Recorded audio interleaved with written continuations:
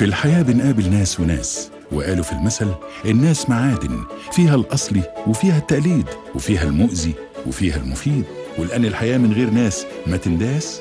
هنقابل كل يوم نوع من الناس ناس دهب وناس تانية لها العجب. ناس زي الفل بتحب الخير للكل ناس جميلة تتصاحب وناس غريبة ملهاش صاحب. ناس لئيمة البعد عنها غنيمة وناس راقية من النوع الفاخر.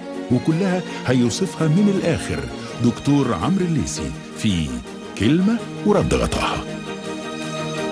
زميلنا عبد العزيز يا جماعة ده حالة تغيظ. طول الوقت يحسسك إن مكانه مش هنا وإنه كان لازم يبقى حاجة تانية غير رئيس قسم المشتريات بالشركة. زيزو يا جماعة كان لازم يبقى دكتور ومش دكتور عادي دكتور كمان كبير جدا. ومش بس كده دكتور بطنة؟ لا لا لا مش بطنة. ده كان لازم يكون دكتور جهاز هضمي دكتور عظام. صدرية مسالك بولية حاجة كده يعني.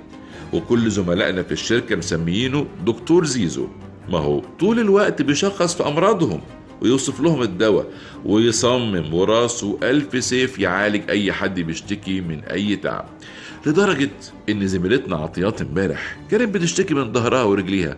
ولما فكرت تاخد أجازة مرضية لقينا الدكتور زيزو فجأة بيقول لها أنت حامل يا أخت عطيات. وتلاقيكي في الشهر التاني كمان. حطي بقى قربة مية سخنة على ظهرك مرتين في اليوم وخدي حباية كالسيوم الصبح وحباية مغنيسيوم بالليل وهكتب لك على شوية تحاليل كده وهاتي الدواء ده هم الأجسخانة فورا. وخليني أشوفك بعد أسبوع ها؟ استشارة بعد أسبوع يا عطيات ها؟ والغريبة بقى إن كلام الدكتور زيزو طلع مظبوط وطلعت زميلتنا عطيات حامل فعلا. المعلومة الأغرب إنها شخصية ما كانتش عارفة إنها حامل. وكان بيتهيأ لها إن تعب ظهرها ده من قعدة المكتب. أما المفاجأة يا جماعة لما عطيات رجعت الشغل وكانت حالتها الصحية والمعنوية أحسن بكتير من الأول والابتسامة العريضة على وشها وكان واقف لها الدكتور زيزو في نص الشركة زي الطاووس وبأعلى صوت قال لها يا أهلا يا أهلا يا أهلا يا ست عطيات مبروك يا ستي واللي جاب لك يخلي لك ها؟ عملت التحاليل؟ وخدت الكالسيوم والمغنيسيوم اللي قلت لك عليهم؟ تمام تمام تمام. عايزك بقى تمشي عليه وما تبطليش الدواء إلا لما أقول لك ها؟ يلا. يلا على خيرة الله وبالشفا إن شاء الله يا أخت عطيات بالشفا وطبعا كان باين جدا إن زيزو عايز الشركة كلها تسمع وتتأكد وتبصم بالعشرة انه دكتور لا. دكتور إيه؟ دكتور عالمي. وإنه مش بس بتاع صداع ومغص لا. ده دكتور نسا.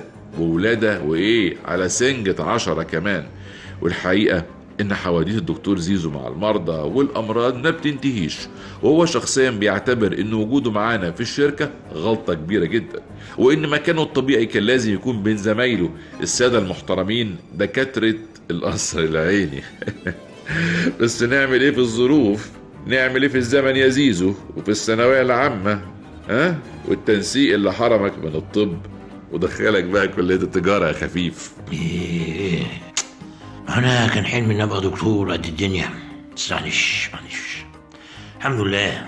أديني أهو بثبت لكم إن الطب اتحرم من موهبتي وإن البشرية خسرت. خسرت أستاذ كبير كان ممكن يخلصها من ألمها. آه والله والله البشرية كلها خسرت. بس هو حظ الذكر وأنت فاكر يعني إن فيروس كورونا ده كان ممكن ينتشر كده ببساطة يا خام طب تصدق بإيه؟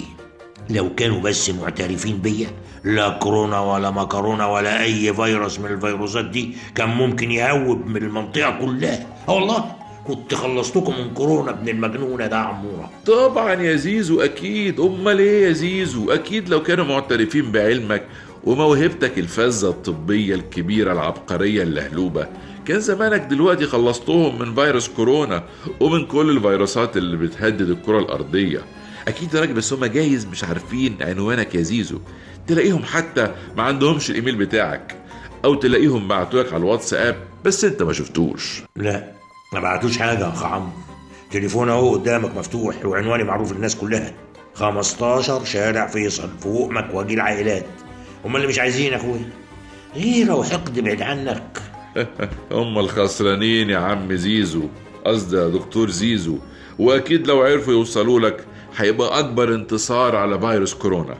إن شاء الله يتحقق على إيدك. والصحافة العالمية بقى ها واخد بالك؟ تكتب بقى بالبنط العريض ها بالبنط العريض. الدكتور زيزو يكتشف علاجا من شارع فيصل يقضي على فيروس كورونا. أهالي فيصل يحتفلون بالدكتور زيزو. قاهر فيروس كورونا يا جميل. مش عارف ليه كده شامم ريحة تريقة في كلامك يا حاسس كأنك مش مصدق إن بخبرتي الطبية الكبيرة دي أقدر ألاقي علاج للكورونا ابن المجنونة ده اللي مدوخ العالم ومحيركم. معلش معلش. أنا كده حظي ذكر. حظي ده هو اللي رماني عليكم وخلاكم ما تعرفوش قيمتي. معلش معلش. بكرة تندموا لما تكتشفوا إن هنا كان يعيش دكتور عبد العزيز الدكتور اللي كان ممكن ينقذ العالم من فيروس كورونا الرهيب. بذمتكم ده تقولوا له إيه وتتصرفوا معاه إزاي؟ ابعتوا لي تعليقاتكم على صفحة برنامج كلمة ورد غطاها مع عمرو الليسي حكاياتكم مع أنواع الناس اللي بتقابلوها في حياتكم هنتكلم عنها في كلمة ورد غطاها. ولغاية ما نتقابل تاني أسيبكم في أمان الله. كلمة ورد غطاها دكتور عمرو الليسي الكاتب الصحفي محمد الشبه. أداء الفنان أحمد صيام. إخراج تامر حسني.